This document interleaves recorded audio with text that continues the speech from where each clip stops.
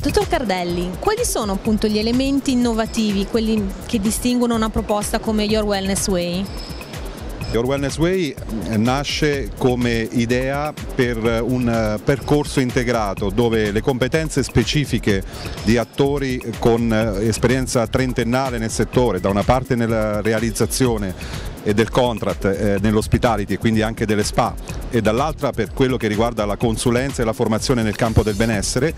eh, riunendo il tutto sotto un'unica compagine che assicura una specializzazione e un unico interlocutore per tutti i vari processi a partire chiaramente da quello che è l'argomento principale, cioè il piano di fattibilità e l'analisi iniziale per dove posizionare e realizzare una struttura complessa eh, come quella appunto di una SPA all'interno di una struttura ricettiva. Quindi nasce con questo obiettivo di dare forza e eh, sostegno a quello che oggi è un mercato sicuramente importante ma dove è anche molto molto rilevante il bisogno di avere degli interlocutori specializzati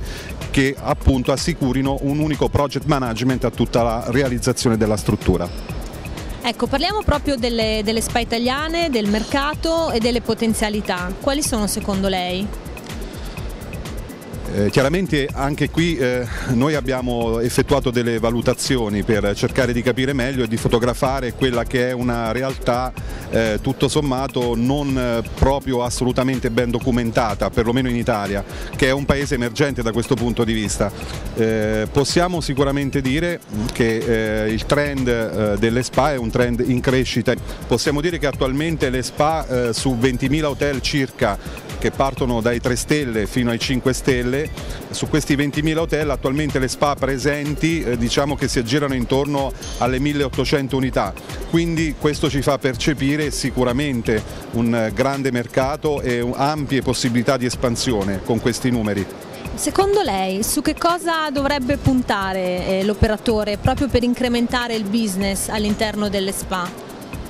Diciamo che oggi eh, i fattori importanti eh, dove bisogna a mio avviso focalizzare e concentrare la nostra attenzione prima di andare poi su una serie di aspetti che ripeto in questo caso sono molteplici, sicuramente c'è una necessità eh, di rivolgersi a delle competenze specializzate, quindi società di consulenza o dei consulenti del settore, un grande eh, atteggiamento di rispetto nei confronti delle risorse umane, quindi eh, sicuramente è molto importante studiare la location, studiare gli spazi, la funzione funzionalità, i bacini di attrazione, vedere quelle che sono le potenzialità del mercato, di dove andiamo a inserire e a eh, diciamo, sviluppare una nostra attività nel mondo del benessere. I punti deboli, il più debole attualmente sul, nel nostro paese è quello delle risorse umane. In realtà avere una macchina performante, avere una grossa eh, struttura o avere comunque eh, ripartito eh, nella maniera ottimale gli spazi, i pesi all'interno di una spa meravigliosa, se poi non abbiamo dentro un team